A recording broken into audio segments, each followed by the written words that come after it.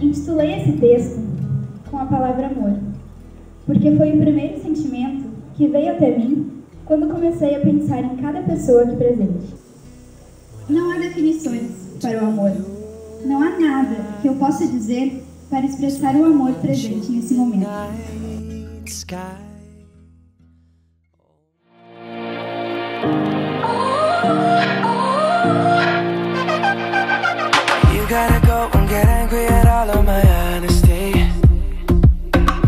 Try, but I don't do too well with apologies. I hope I don't run out of time, cause someone call a referee.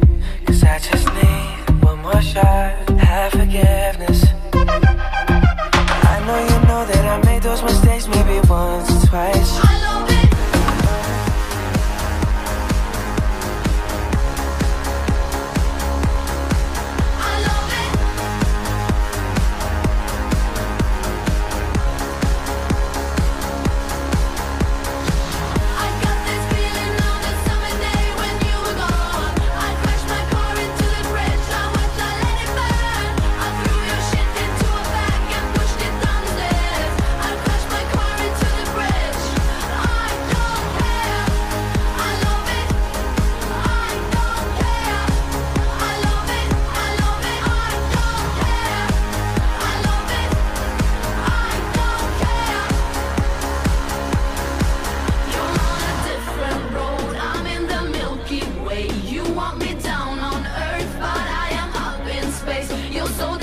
To please. We gotta kill this switch. You're from the 70s, but